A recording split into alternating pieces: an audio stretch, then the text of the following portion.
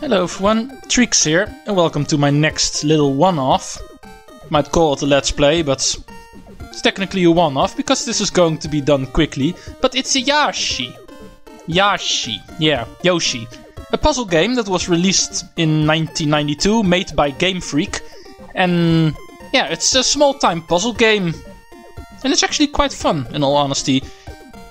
It's my second puzzle game I uh, play from uh, these days. In the late 80s, early 90s, I was a little bit more into puzzle games than I am now.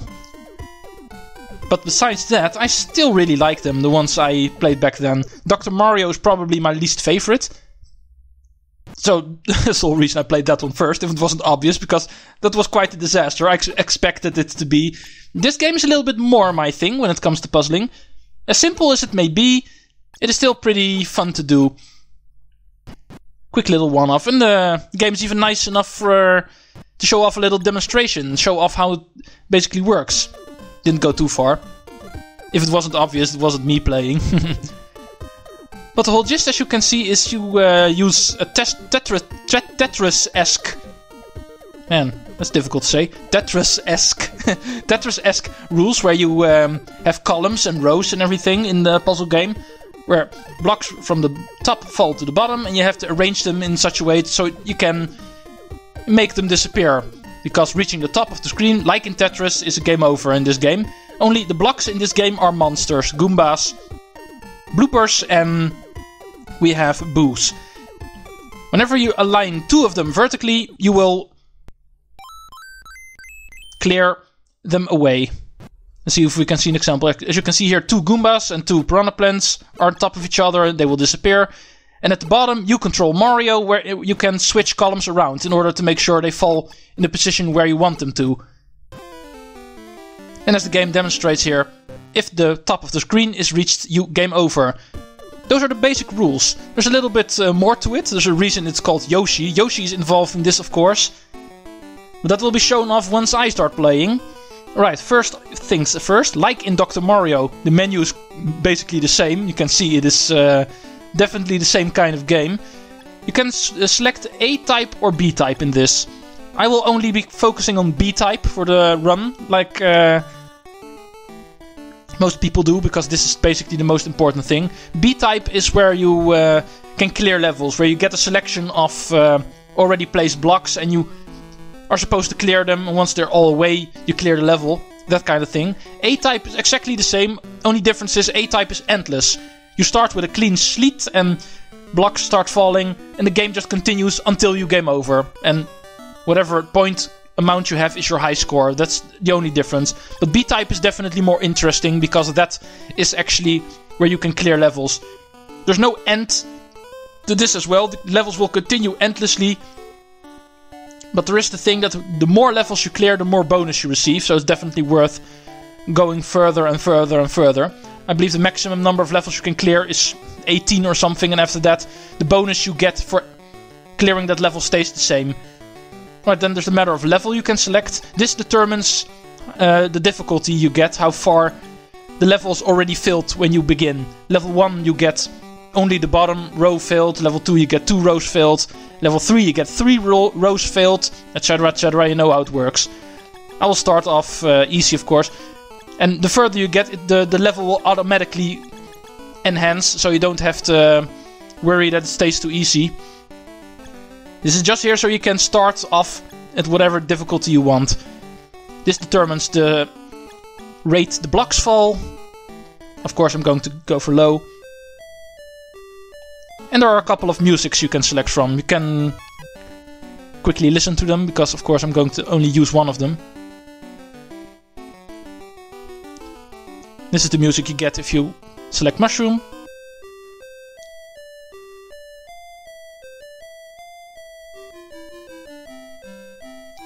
Flower music is a little bit, little bit more soothing, as you can hear. And this is the most energetic song of all.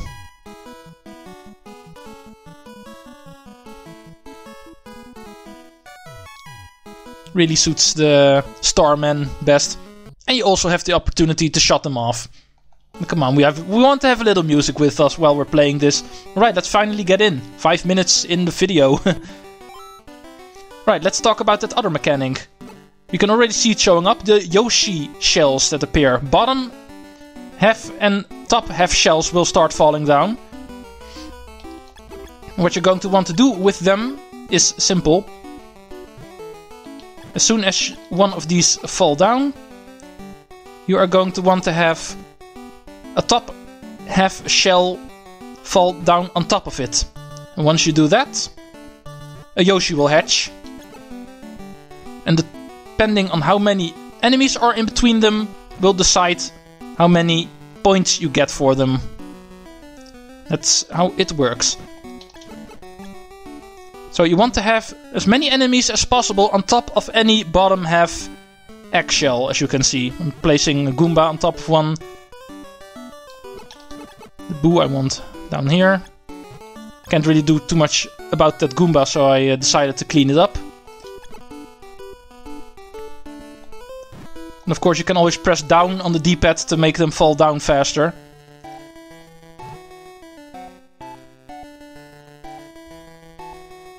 Let's just do this like this. Now, uh, now the top half uh, will fall, and as you may see, all the enemies on top of it will get cleaned up immediately, and a big Yoshi appears.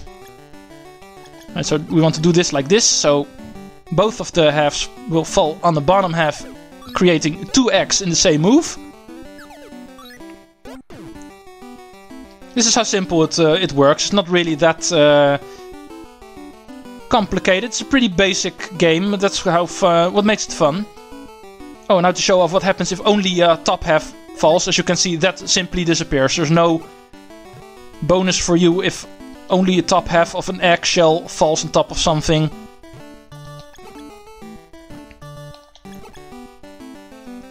That is uh, how simple this game is in its functionality.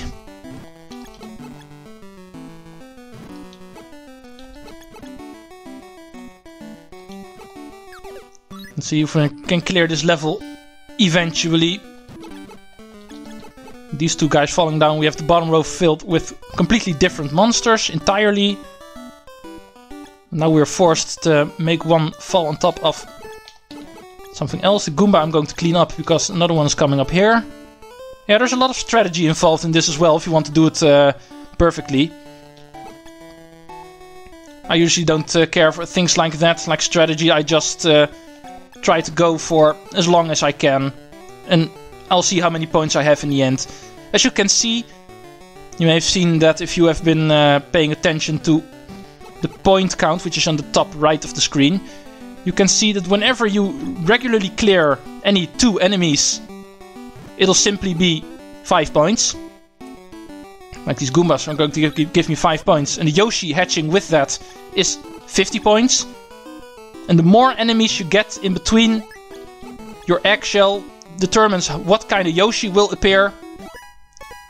And the bigger Yoshi is more points. As you can see, clear the screen. And you finish the level. And you get this cutscene. Showing you off how long you did, what the level was, what the speed was. And get an extra point bonus for clearing the level. And like I said, Level 2 now appears. Whenever you clear a course, it'll simply shift to the next one on a higher difficulty. So we're on level 2 now. I think I'll just uh, continue this until I game over, or simply if I think, now we've seen enough. And then I might just uh, game over myself. Because there's not really a end to go for. This game uh, just keeps going on endlessly until you have the maximum number of bonuses you can get. And that is um, how this project will end eventually. Because there's no real end credits to get to, there's no limit to how many levels you can clear.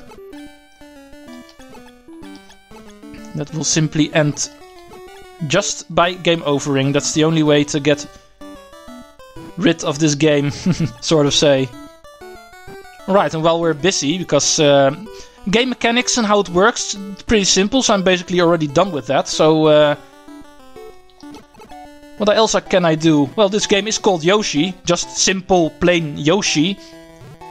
So you might say the game is uh, kind of suited to talk about Yoshi in general, the Yoshi series series in general. So let's. It is basically the second Yoshi game I'm playing right now. I have already played uh, Yoshi's Island. Is the first Yoshi game I played when I, uh, since I have started my Let's Play channel. And as you may have seen by the date of uh, this game, 1992, built in 1991, but this game was basically earlier than Yoshi's Island was. Yoshi's Island was released in 1995, give or take. Might be uh, a little bit off. I believe it was 1995. Let's lower this one a little bit because it's getting pretty scary closely to the ceiling. The game refuses to give me a top half of, a, of an eggshell right now. But yeah, you might say that um, this basically is the very first official Yoshi game because even this game is uh, considered part of the Yoshi franchise up to this date. This game is the first game that appeared since Super Mario World, the game that introduced Yoshi as a character. Back then, back then still as a Mario character, of course.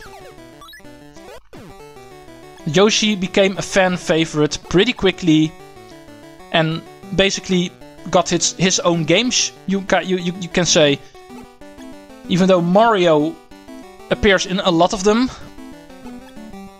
but Mario just appearing in his games does not automatically mean that it is a Mario game. It was back then, but nowadays, games like Yoshi, Yoshi's Cookie, Yoshi's Island, and everything that came after that made Yoshi his own series. It is, of course, still a spin off of Mario, so the Mario connection is obviously still there. And it will never change. Kind of the same way with Donkey Kong and Wario, who also got their own series uh, after a while. Because the same applied to, to them. But when it comes to Yoshi as a series,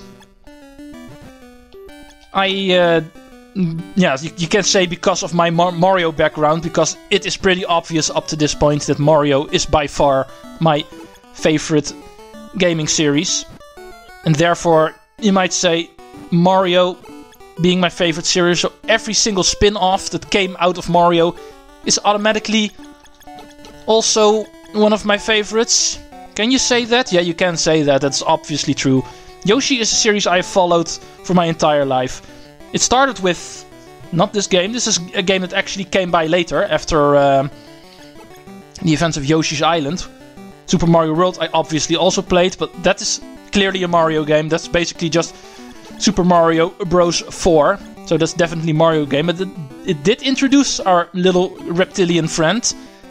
And yeah, I, I, I fell in love with him immediately, whether it be in Super Mario World, or you're talking about its uh, quote-unquote sequel, which uh, Super Mario World 2 first was called, later became Yoshi's Island, because later later it was decided, yeah, this is not a Mario game, this is a Mario spin-off, this is a Yoshi title.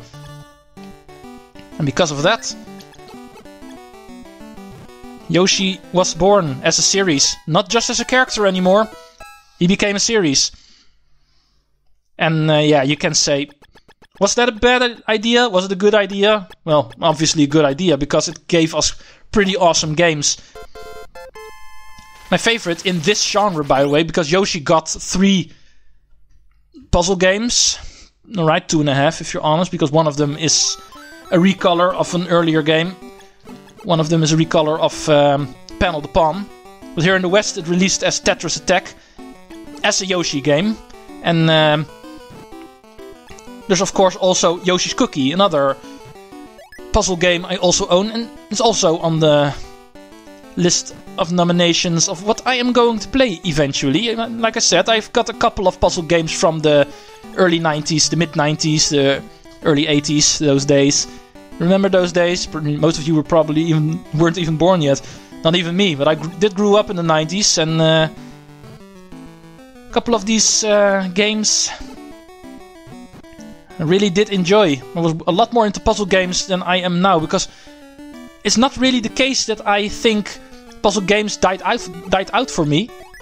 That's simply the, the genre is no longer interesting for me. No, I think it's a little bit more simplistic than that. I just think the puzzle games you have nowadays are just a little less interesting, or you might say that there are a little less um, interesting in general, not just personally, but uh, for example, you have games like Mario Party now, which have puzzle games as a part of that game. The, it's, it's, a little bit harder to say that uh, puzzle games can be a standalone thing. Back then, because of the smaller games you had in those days, it's a little bit easier to say let's just uh, make a simple puzzle game, and the fact that you can clear that in uh, translated to uh, let's play terms in one video, those sh short amount of games.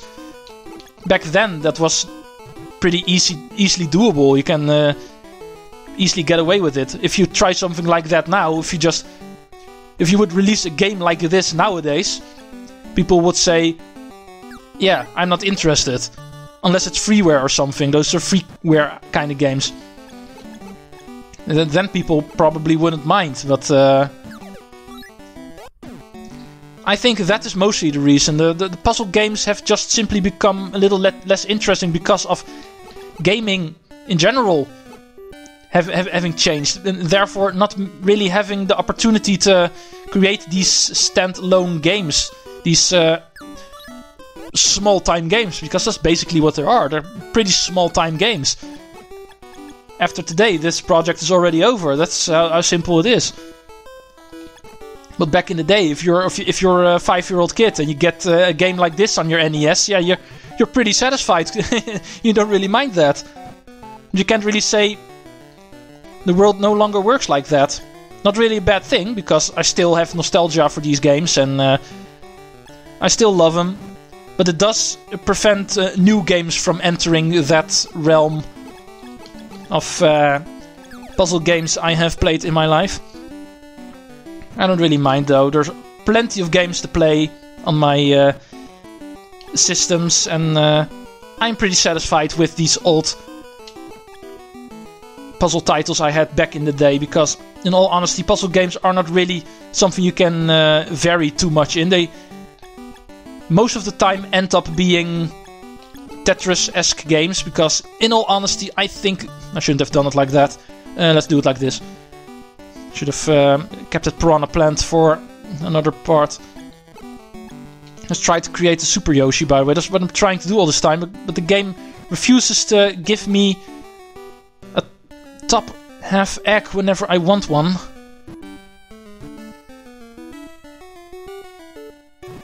Let's see if I can... Uh, because especially in these later levels, it's a little bit harder to clear an entire screen. So what you usually end up doing is uh, using the Yoshi eggs to um, clear large large chunks of enemies away. There we go. That's what I wanted. We have a bottom half all the way over here. And the top half is going to fall on top of that. And a lot of enemies get taken down with it. And we get a winged Yoshi. That is, uh, I believe, the second best Yoshi you can get in this game. The winged Yoshi, I believe there's one more if you fill up the enemies all the way to the top of the screen and then let a top half eggshell fall on top of that from on top of the line. The maximum number of enemies you can have on top of it, you get a Starman Yoshi. It's pretty rare. Usually don't dare let it come that far, but th that that is, I believe, the biggest Yoshi you can get. Um, it's not really working out too well. Not really that big of a deal though, because uh, this is basically done. I don't think I could go for a second part for this, but uh, in all honesty, there's not really too much more to talk about, and uh, the gameplay will stay the same, even though the level number will increase and will, will become a little bit more difficult. I might try to go on. I'll uh, just uh, cut the video if that happens. It's something I had planned in uh, Dr. Mario as well, just continue until I uh, beat highest level, but I don't think that is really that necessary because I quickly saw gameplay is getting a little bit too much of the same at some point and uh, trying to come up with a talk, topic to talk about, like in this case the Yoshi series and its wonderful games. Started off with a lot of these puzzle games in the early days, but eventually the platformers started rolling in. And the platformers, as you may know, that is what I'm really in love with. I love platformers. By far my favorite genre of gaming. And Yoshi definitely became a platforming legend because mostly because of the game mostly responsible for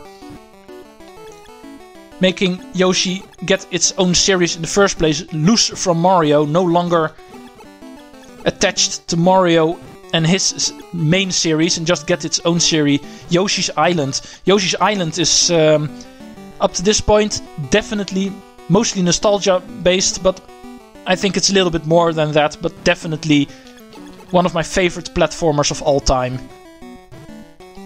Can't make anything more out of that. And that is not where it ended, because games after that, like Yoshi Story, another spin off within Yoshi.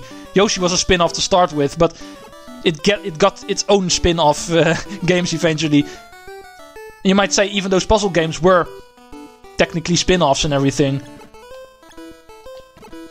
Because the puzzle games is not what Yoshi continued with. Definitely went that platformer formula whenever Yoshi's Island came, because after that you can basically only see platformers coming in.